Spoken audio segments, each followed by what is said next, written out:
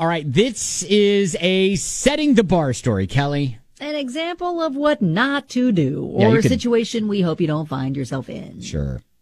All right, so I don't know if you heard or saw of this art. Uh, it's like art, it's technology. It's an installation called The Portal.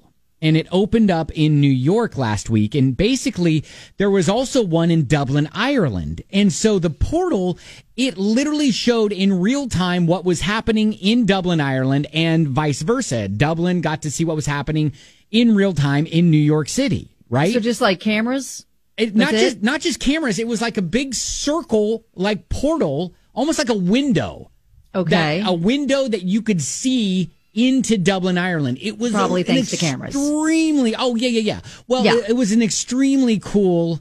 Uh, uh, like art installation, but it was like one thing, right? So, if you can manage to make it through the day without causing this amazing art installation to be shut down after only one week, you're doing okay. what did we do? What So- do we do? Do we just hang out and watch all day? Okay, so it was a live feed to each of the cities, right? Right. And So- which I think encourages people to just sit there and watch. But I think sitting there and watching, I think is fine. Okay. Do, do that, right? What- what were people sit there doing? and watch. Let people connect with one another from an ocean away. How cool is that? okay. Where did we go wrong? People started flashing. Uh oh. People started mooning each other. Oh no. People started using hand gestures, Oh, giving the boy. finger. Oh, People no. started grinding on the portal. Oh.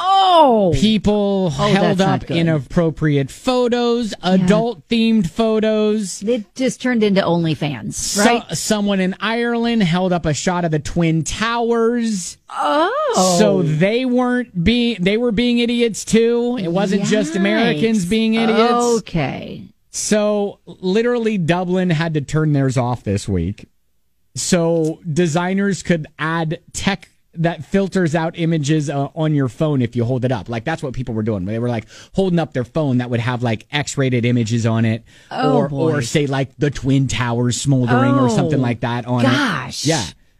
That went so sideways. I know, I'm but- sure they did not see it going that way. I mean, I okay, it did it wouldn't have taken but asking an intern, "Hey, what do you think about this?" To, for them to go, "Well, I think that's really cool." Aren't you worried that someone's going to do like Right. right? yeah, because you, can't like predict how people on either side of those cameras are going to behave.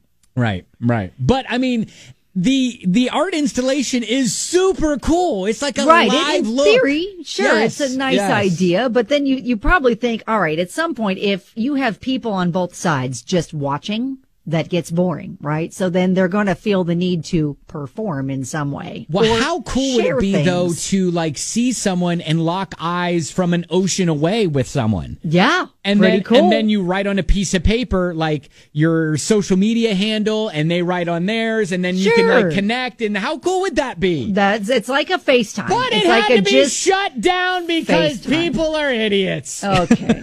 All right. Oh, what a great so we're idea hoping in theory. we're hoping that it can it can get back up and um and it looks like they they do plan to to put it back up once these filters get put in place. a, a sign saying some rules, right, right, maybe. right, exactly. But again, setting the bar. If you can manage to make it through the day without being one of the people who caused this art installation to be shut down after one week, you're doing okay. You're right. This is why we can't have nice things. Ah, it's literally humans. It's us. That's what it is. It's humans.